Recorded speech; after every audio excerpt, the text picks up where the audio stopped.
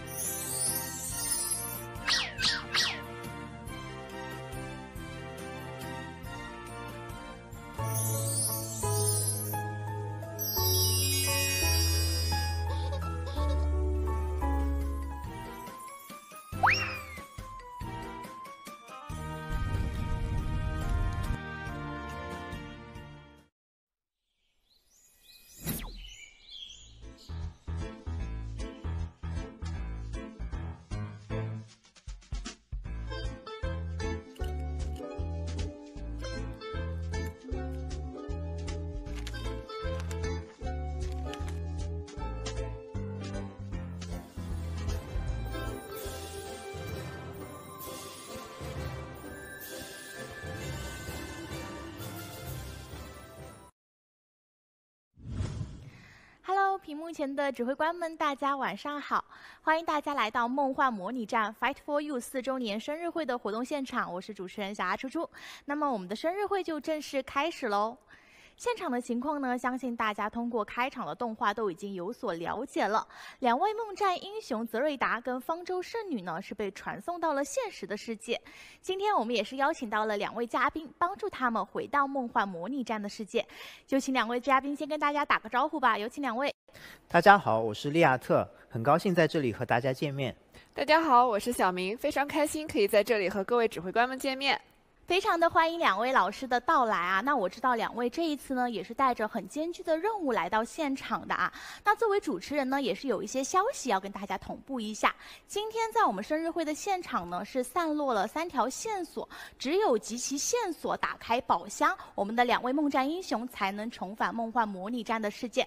那接下来就先请两位小姐姐去找找寻一下线索，好不好？好，辛苦了，有请。好的，欢迎两位老师的到来啊！那我这边呢，也是替我们的指挥官们找到了一些呃问题，想要去询问一下两位老师，准备好了吗？准备好，那我们就请入座吧。经过了一年多的冒险跟战斗呢，我们是再一次迎来了与大家见面的日子，相信两位老师应该也很开心吧。那么这一次的一个生日会呢，除了我们两位老师为大家带来的重磅消息内容的揭秘之外呢，我们同样也是为屏幕前的指挥官们准备了非常多丰盛的福利，所以大家千万不要走开哦。那么大家都知道啊，我们这个一年的时间有很久，我相信屏幕前的指挥官们在我们盖尔帕伊斯大陆上也是经历了非常多的事情，参与了很多的冒险呀，遇到了很多的朋友啊。那接下来呢，我们就通过一段小小的视频来回顾一下这一年的时间，在我们盖尔帕伊斯大陆上的点点滴滴吧。俺はマクレーンだ生き別れた妹を探して このイエレス大陸をさまよってきたここで立ち止まるわけにはいかない私と一緒ならこの地でもうちょっとマシに暮らせるようになるってものよ。聖艦長多くの人々が願いと意志が集まってできた月の民の宝なのだ。言動を慎んだ方がいい。神に口出しできるなどと思い上がるなこんな超俺はあの剣の力を認める。教習剣と魔鋼弾とこれらが新たな未来を作り出すんだ。エルシオン計画の実現に前科進軍。これが世に轟く。エリシオンの鉄のひずめだ。奴らの陣形を崩せ。鶴屋の凄惨な光景を見ると霊装を冒涜したエリシオンの罪決して忘れてはならないのです。霊廟に一人でいるのは本当に退屈だよ。僕はおぼろ。万霊の竜ごめんなさい。おぼろ。本当はあなたは自由に空の海を飛び回れるはずなのでもあずさのためなら僕は喜んでカゴの中の鳥になろう。だから私全てを修正し僕はどうなんだ？竜の姿になった僕が鶴屋にしてしまったことと何が違うと言うんだ？鶴屋のあなたを必ず私が救います。あずさあずさそして今この瞬間あなたを前にして。霊力が満ち溢れ万物がよみがえる。砂漠の戦士は俺のことはロスタムでいい。強い酒に美しい踊り子。私と一緒に踊りたいのですか？フェルラールみたいな情熱的な手には値に合ってるみたい俺がどうして闘士の王と呼ばれてるのは止まらないよ。フェルラールの怒りの炎に焼かれろ。私の命の横は復讐の火を灯すでしょう。大陸を再び蘇らせその言葉の本当の意味が分かるようになったら星のイスアシャセルラールの意志は決して耐えることはない。勝手に血を流してください。マジもうこれ以上は。起きちまったか。これはあれゼルダ。マッシュ。ゼル行くぞ。私はお前が期待するような人ではない。サーチアンドデストロイだ。帰ってきてくれ。ゼルダもう一人の私邪魔者は一掃する。新世界の塵となる。これで終わりだ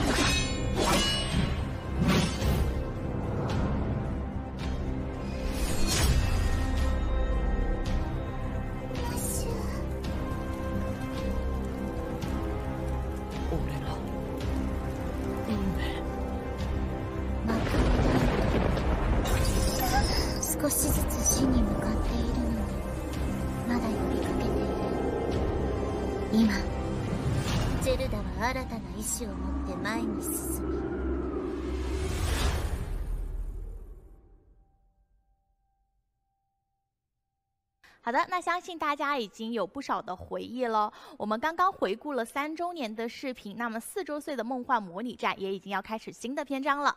接下来就有请到两位老师为我们带来第一个环节的介绍吧。嗯，好的，接下来这位就是我们四周年版本的第一个重磅内容 SP 马修。嗯，从设计思路上来说，我们贯彻了马修永远相信伙伴与爱的力量，所以在 SP 形态之下。马修与伙伴之间的羁绊之力会得到进一步的增强。在 SP 马修的天赋技能中，马修不仅得到了属性的进一步提升，还突破了原形态之下的范围限制。我们不希望这样的改动只是一次简单的性能提升，而是希望基于背景设定，使得马修能力提升更依赖于场上存活的友军，也更强调阵容和伙伴们的完整性。除此以外呢，大家也知道，SP 马修呢，他是被从卡奥斯征服的这个异时空从天而降，穿梭回了这个维尔纳与洛维奈尔大帝的时间线，试图拯救他的同伴，拯救世界。所以呢，我们基于这一点，为 SP 马修的天赋当中尝试引入了一个时光倒流的机制，他可以在战局中选择回到过去。嗯，那 SP 马修的情报我们就先分享到这里，大家可以等到版本时装以后。去亲自揭开 SP 马修的身世之谜，亲自体验它的实战效果。到时候欢迎大家来跟我们分享你们的感受。好的，那我们就一起期待一下 SP 马修的一个后续的精彩表现了。那除了 SP 马修之外，我们一定有新的英雄出现吧？嗯，没错。接下来我们要一起看一看这位即将登场的英雄——壳中少女。哎，壳中少女，听这个名字感觉像是藏在什么地方的人一样哦。嗯，那我给大家小小的透露一下。这个英雄的天赋技能包含了队伍血量越高时伤害提升和部队射程增加两个部分。看到这里，相信很多熟悉英雄能力的指挥官已经猜到是谁了吧？哦，我知道，我知道。我觉得现在应该有不少的指挥官已经弹幕打出来了，应该是卢克，对不对？是的。嗯，没错，他就是在战场上拥有不俗的表现，并且拥有超高人气的人形机器——卢克雷蒂亚。他的阴谋被阿雷斯挫败之后，躲到了以利西恩方舟之上，并且呢，在他逐渐复苏的过程当中，侵入了方舟战斗系统中枢。他顺利的为自己找到了新的实体，也因此得名为壳中少女。嗯，壳中少女将会延续鲁克雷蒂亚的优点，仍然会是一名高伤害的长手法师。但我们并不希望他如原先那样，能够直接在战斗初始就拥有过于强大的远距离杀伤力。因此。我们略微延长了它的启动时间，并增加了额外的智力加成作为补偿。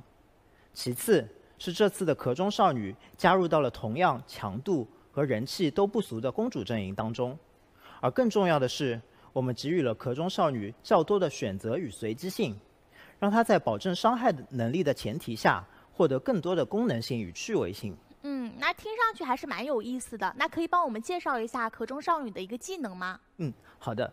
壳中少女的新 EC 技能会在每个回合开始时，从我们预设的法师技能库当中随机生成三个技能，供她选择释放。该技能库会涵盖我们众多常见的法师技能。而在她的三 C 觉醒技能当中，我们也首次引入了升级技能这个概念。我们希望壳中少女的三 C 技能能够在打出不俗的单点伤害同时，拥有更多的战略价值。具体该技能会获得哪些升级，就留到我们的周年版本当中，由各位指挥官亲自去体验吧。嗯，总的来说呢，我们希望壳中少女能够在战场上提供更加灵活多变的战术选择，而选择也意味着决断。壳中少女在战场上随机出的技能，将很大程度上的考验着指挥官们的临场战术安排。嗯，好的。那除了其实壳中少女之外啊，我们应该还有一个新的角色要介绍给大家，而且我听说应该是在我们的主线当中具有非常重要的这个角色担任的，对吧？嗯，是的。我们就先通过下面这段英雄视频来感受一下这位新英雄的魅力吧。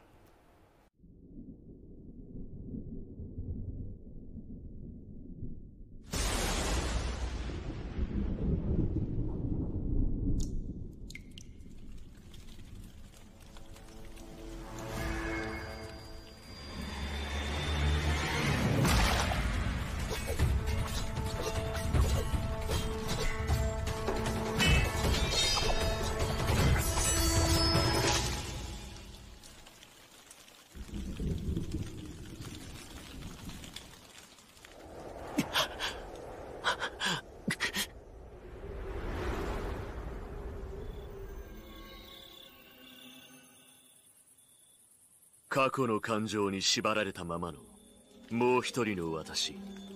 お前は所詮混沌の運命の駒でしかない。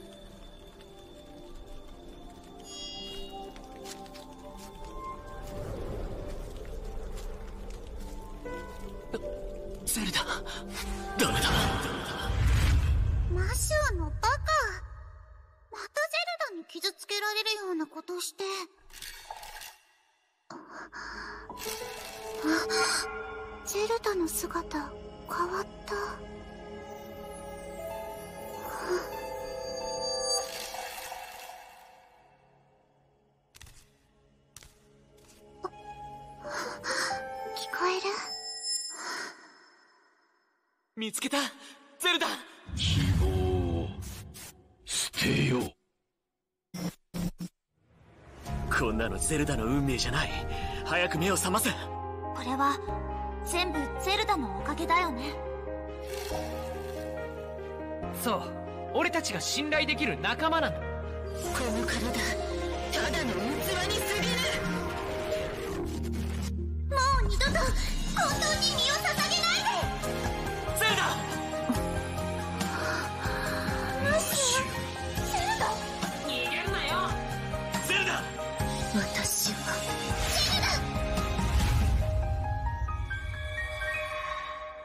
おいでゼルダ。一緒に帰ろう。新たな時空へ。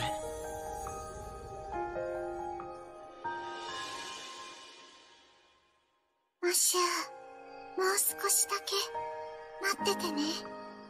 また出会える。その日まで。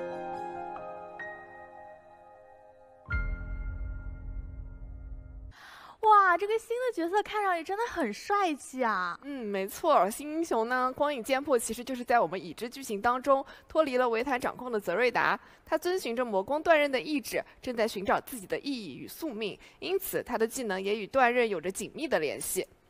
光影剑魄的整套技能呢，都围绕着断剑进行构筑，这使他拥有了一套在一定条件下能够多次复活、多段伤害以及单点破复活的独特机制。而这整套机制的核心就是他的天赋技能“极魂断刃”。这个天赋技能除了提高高额的战斗中伤害加成之外，还为他产生了两个极其重要的机制效果：剑刃魂力和魂械。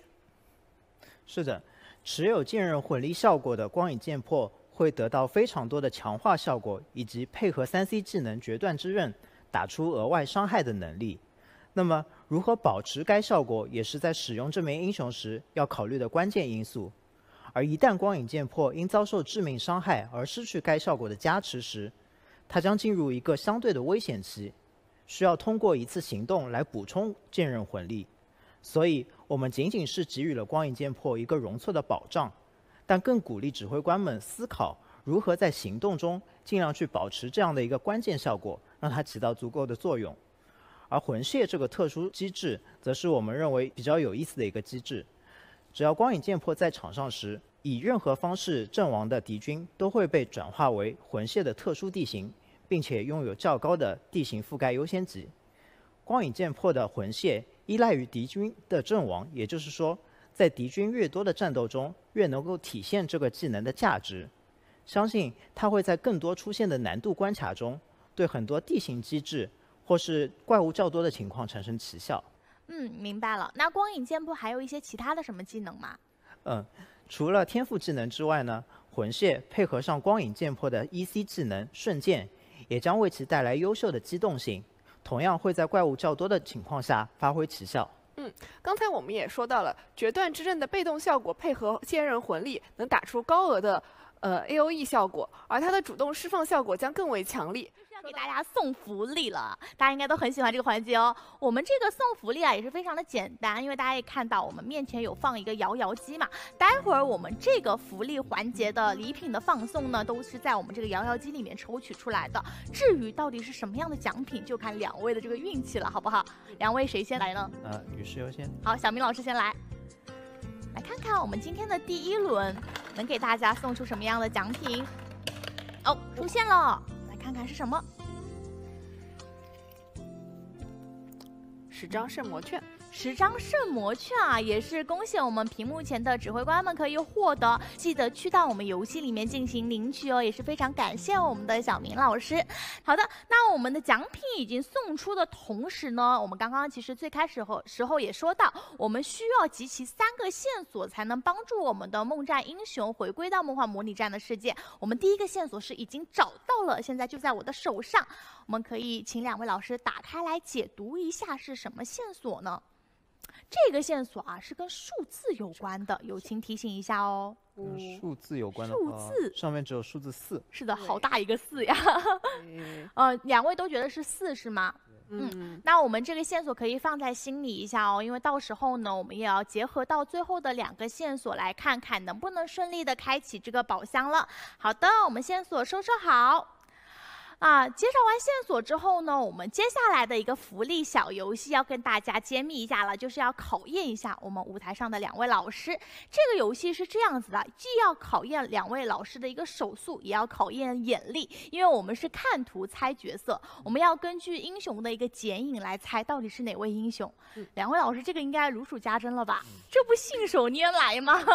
很有信心吧？来，我们先请 staff 送上我们的手牌。待会儿需要两位老师举手抢答了，好不好？好的，来，准备好了吗？好了，好，我们请看第一题。哎，这个小明老师很快速啊，第一题就是你的了。嗯，玛丽安蒂尔。玛丽安蒂尔是不是呢？我们公布一下正确答案。哎，回答正确，小明老师先记一分。来，接下来第二题，这个依旧是小明老师。雪莉是吧？来，我们公布一下，看看是不是雪莉。回答正确，我们现在小明老师两分了，我们利亚特老师要加油了，好吧？来，接下来请看第三题，这个哦，是埃尔玛。来看一下正确答案，回答正确，艾尔玛现在三题平稳过，下一题。哦，有一点难的样子哦。嗯。两位老师好像都把握不太准呢，有一点像库鲁加感觉，有一点嘛。那小明老师要不要尝试一下？呃，那那个邪神库鲁加，来，我们公布一下正确答案是不是呢？回答正确啊，虽然有一点点怀疑，但是最后还是说对了。现在我们已经是三比一，比较碾压喽。李亚特老师加油喽！好，请看下一题，这个。这个我都能看出来，老师，老师今天还在现场呢，老师，来，我们小明老师，方舟圣女，是的，方舟圣女回答正确，来下一题，嗯嗯，光佑使徒，来公布正确答案，嗯，回答正确，我们继续下一题，这个，啊，对，利亚特老师，您举的比较快，超越之人，哦，是不是呢看一下正确答案？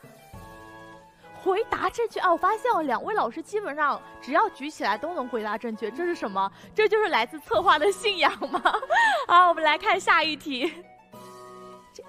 同时，哎，这个石头剪刀布吧，要不好好来。哎，小明老师获胜。哎，这是那个辉夜，辉夜来公布一下答案，回答正确。来，请看下一题。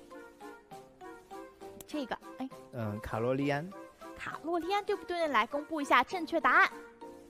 回答正确哇，好厉害，好厉害，两位老师啊！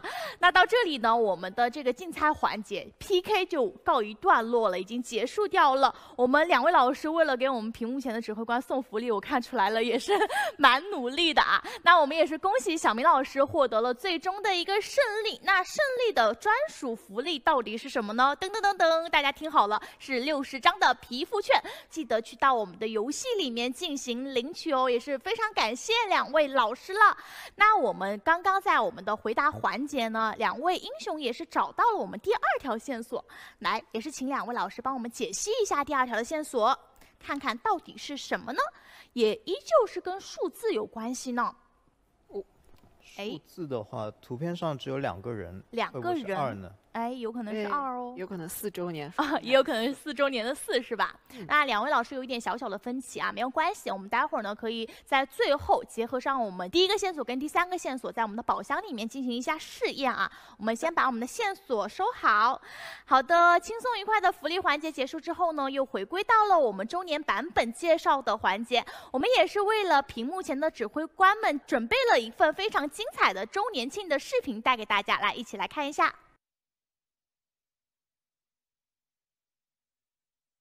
この果てしない大地に舞い降りたら不理さ僕を連れて進め。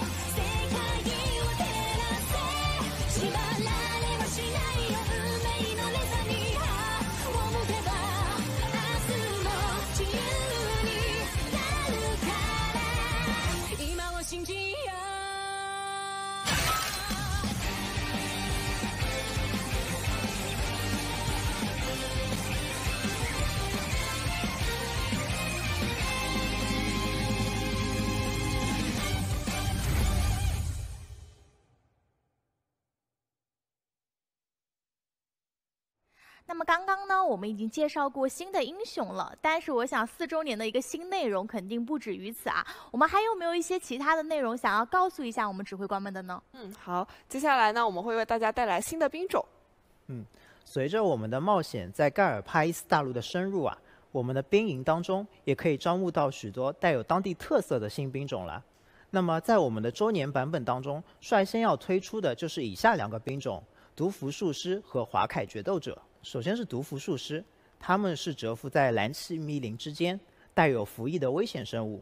作为飞行移动的法师，他们能够在所释放出的法术当中，对敌军附加额外的弱化效果，具有很强的功能性。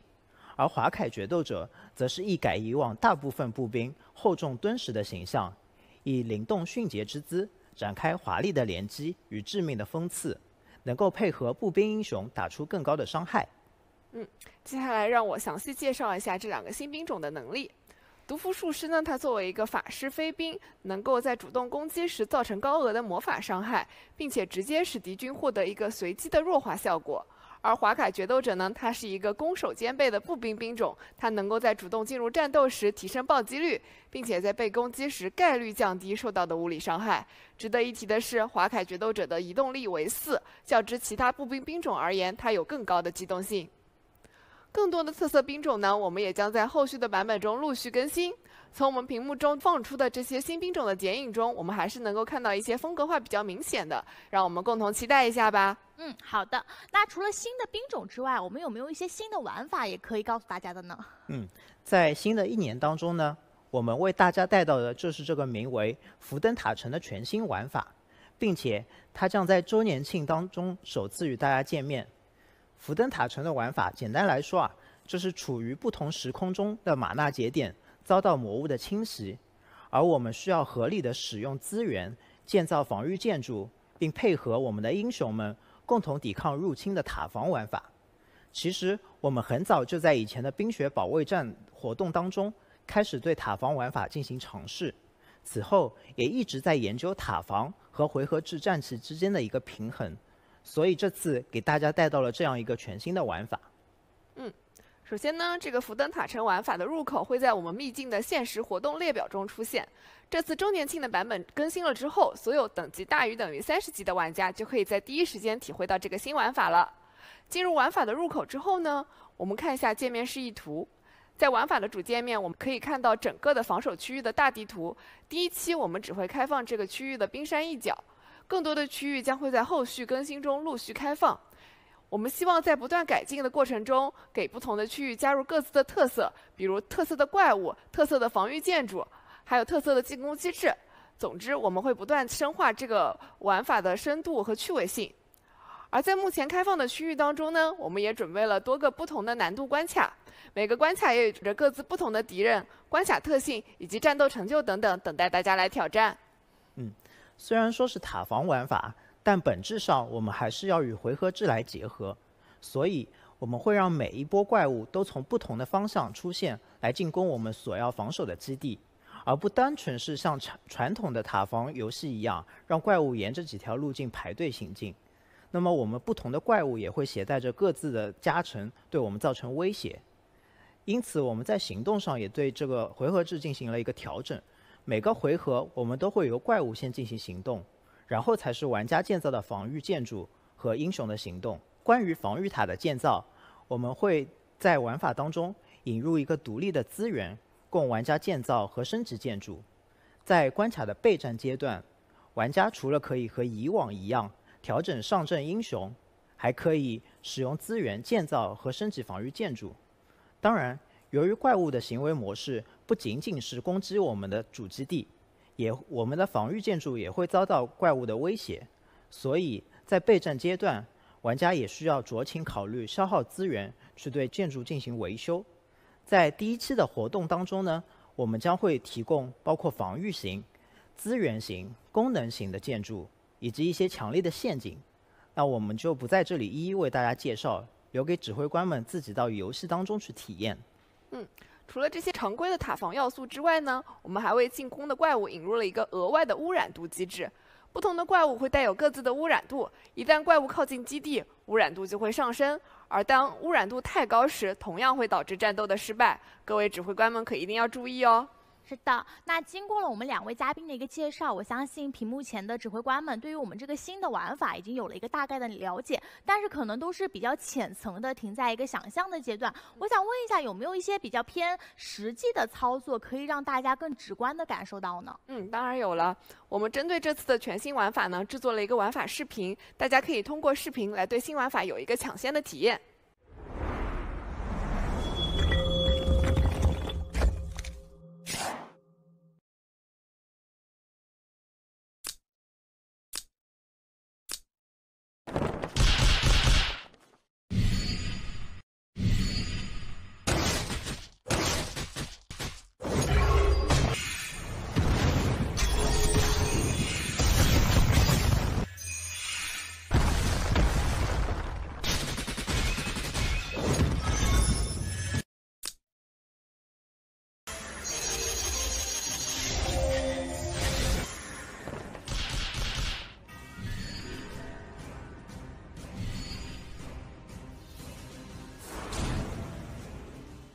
视频啊，相信屏幕前的指挥官们跟我应该是一样子啊。对于这套全新的玩法，已经是非常期待了。那么之后呢，我们就在之后的周年版本里面可以不见不散了。其实进行到这里，我感觉我们的内容已经非常的丰富了。但是我感觉两位老师好像还有点意犹未尽想要说的样子，是吗？嗯，是的。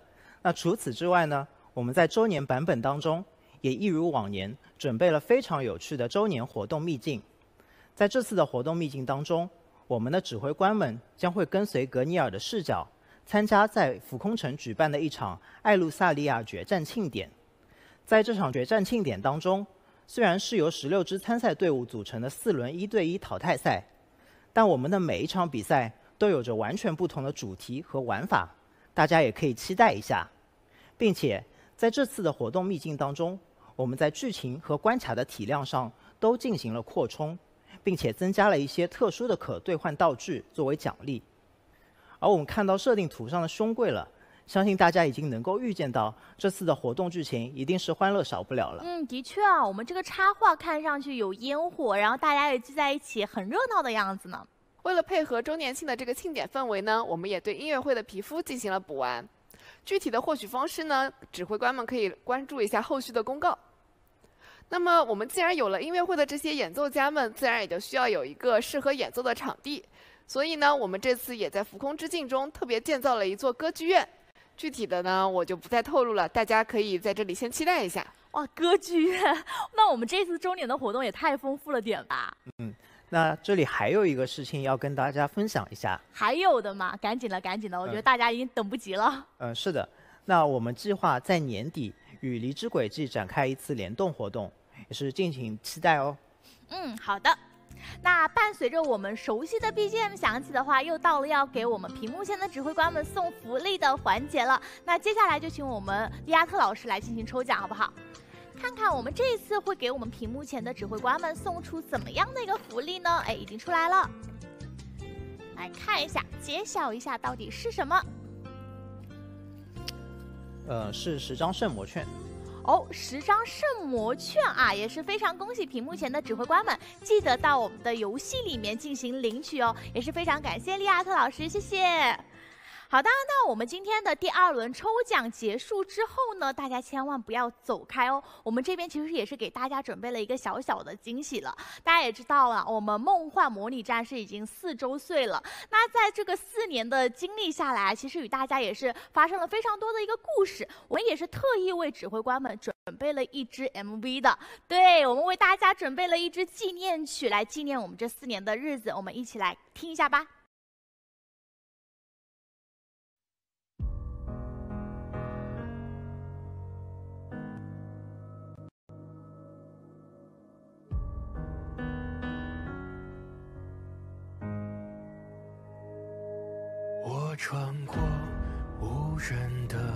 沙漠，我拯救垂危的帝国。我像是勤勉的勇者，在旅程中奔波，写一则你和我的传说。那骑士的盔甲折射着荣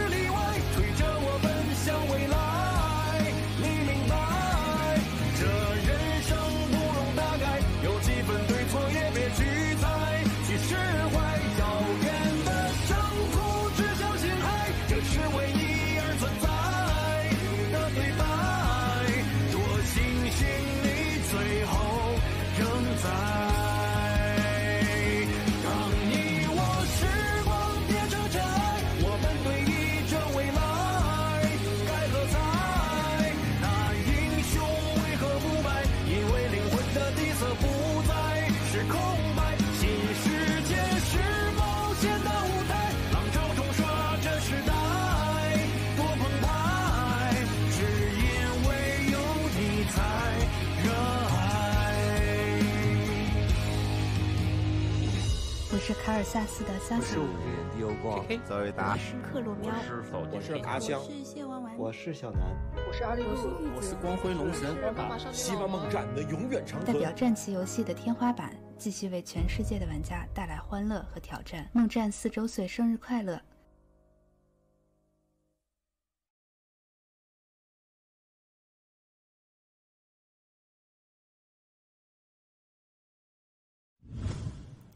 欣赏完我们的纪念曲，相信屏幕前的指挥官们依旧是非常的心潮澎湃啊！但是今天的任务还没有结束哦，最后一张线索是已经来到了我的手上。来，请两位老师打开看看，最后一张的线索是什么呢？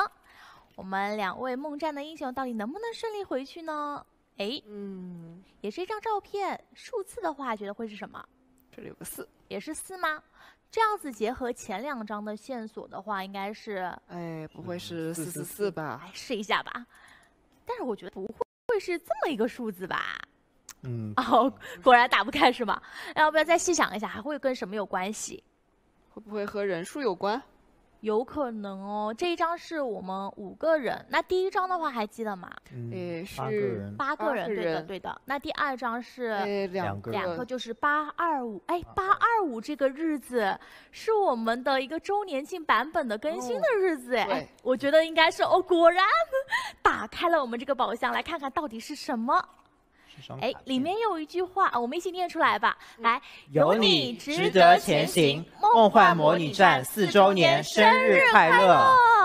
啊，好的，伴随着我们这个生日快乐歌，我们也是迎来了我们四周年的生日蛋糕，也是非常的辛苦我们两位梦幻模拟战的小姐姐们。在这里，首先先感谢一下我们利亚特老师跟小明两位老师为大家带来的精彩的资讯，同时呢，也非常感谢屏幕前一直陪伴着我们到现在。的指挥官们，梦幻模拟战到今天为止呢，已经是完整的四周年走下来了。回顾四周年呢，我们也是经历了非常非常多感动的一个过去。那同样，未来的日子里呢，也是希望我们的指挥官们可以跟我们一起携手共进。梦幻模拟战四周年 Fight for You 生日会到这里就圆满结束啦！非常感谢大家的观看，我们明年再见，拜拜，拜拜。